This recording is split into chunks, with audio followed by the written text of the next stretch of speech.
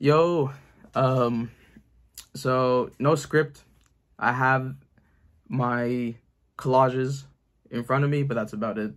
I'm just gonna go really quick into it because I'm not the best person with words, and I feel if I try to explain something without having something prepared, it just comes off very amateurish. So I'm just going to kind of fire into it. So off the bat, I do think 2023 has, so far has been very weak. Very weak. My least favorite year of the 2020s. In general, I always felt very iffy about the whole thing. I've only listened to 50 albums. Usually in other years, I would listen to like 100 by now or 200 or something crazy. But I'm really trying to, to take a more calm approach to everything. You know, give stuff more listens, go back to more songs. Just something that's not so like convoluted and so overwhelming. Uh, and it's worked out for me. So this year, I decided to do a different format where I was picking two albums, mainly a best and a favorite or most played or best, whatever it is. Because over the years, I've just kind of heard an album and then I just moved on.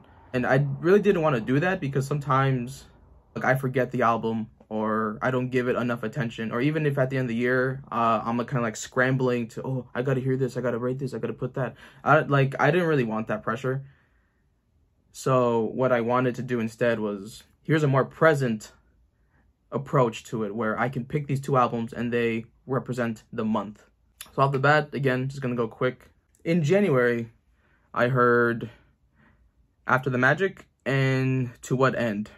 And I really liked After the Magic because I do think it's kind of better in its execution versus To See the Dream because the vocals aren't as harsh, the drumming and the songs don't sound the same. Overall, just really polished, really matured. I, I really liked it. To what end? First month, as I think usual, uh, it kind of was weak, but I still like Oddisee. He's my boy. Um, but I still think the album, yeah, it was had great production, nice maturity from him. I know maturity is weird. Again, I keep saying it. I'm sorry, but that's what it is. In February, we had Dogsbody. This one, I don't remember too much of it, but again, I, I remember there was nice, nice bangers on here with just really heaviness, rawness. Uh, I think it had like a like a punkish kind of thing, uh, like a metal thing too. Again, sorry, I'm just explaining. It was really cool, uh, and it was at the time when I heard it, I was like, yeah, like it's easily the best thing to come out of, February. And then I also really liked um, the Desire I Want to Turn You by Carolyn. I don't I don't know how to say last name, but by her. Uh, a lot of variety, uh, a lot of creativeness, and I heard her album before this because like I've been wanting to hear her, and I did like this more than the previous album. Um, but again, yes, like some good stuff. And then we have in March, we have Ugly by slowthai and Don't Scare the Hoes, I think that's what it's called. Uh, obviously by Danny Brown and JPEG.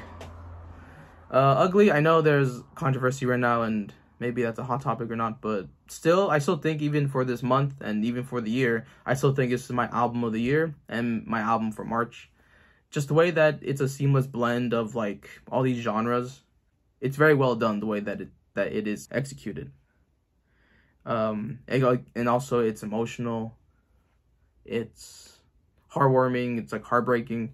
I really like it. Uh, I just got the Hoes again. The mixing was so bad. The mixing, the production, in terms of like the quality of it, it was it was, yeah, it was kind of all over the place. It was messy.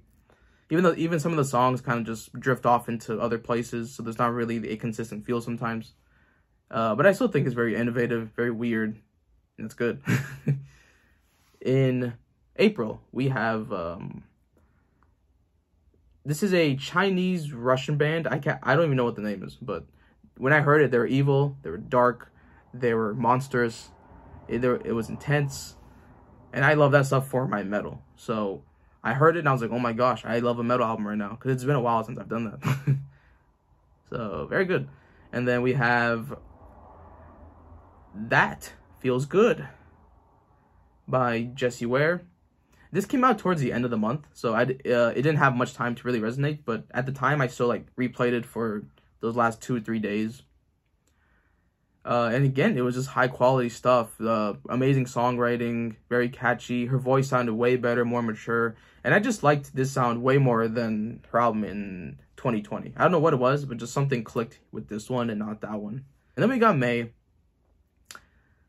And uh, yeah, this was a bad month. Um, I don't know if it was just music didn't come out or I was just kind of in my own world with something else.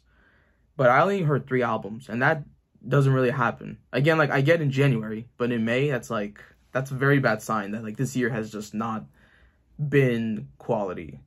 The one thing that actually that stood out was Maps by Billy Woods. Um, he's probably like leading 2020 as like the best rapper, no doubt. Uh, in this album, it's a it's it's much more easy to get into it because like the beats are more friendly, but they're still experimental. So so that's cool because that that allows him just do what he does. Some really grade A, amazing stuff here. And lastly, we have in June, and my God, June was insane. June it was easily the best month of the entire year, and it doesn't fix the problem of this year being weak, but it sure does give me hope more for what is to come. We have this one album that came out of nowhere for me, 001011 by Salvia, I believe. And it's just very innovative. It's very creative. It's very out there. And that's just the genre of glitch pop. And i just i've come to know that i, I love that sound. Uh we have some bjork production uh, elements. We have like that yule kind of craziness and uh kind of like wishy-washy stuff. And then we have the kind of variety and the craziness of carolyn uh, just overall, like it, it like it kind of blew me away, and it actually made me happy because I was like, oh my gosh, I haven't felt so happy about music in forever. So that felt amazing to go through. And then my most played one is Space Heavy by King Krule. This one sounded really like Duster. And his lyrics and his chord changes that he has, it's very uh, it fills me with a lot of imagery. It's so simple, but like like I feel that paranoia or that lost in in life kind of feeling. Uh, it's a very atmospheric album, and that's why it, it was probably like the most played one of the year, to be honest. And that's about it. I've always wanted to do this where I'm making some type of music content. Again, I'm not the best at speaking, but I just wanted to you know talk about it or to geek out for a little bit. If you want to see more music content, let me know. So until then.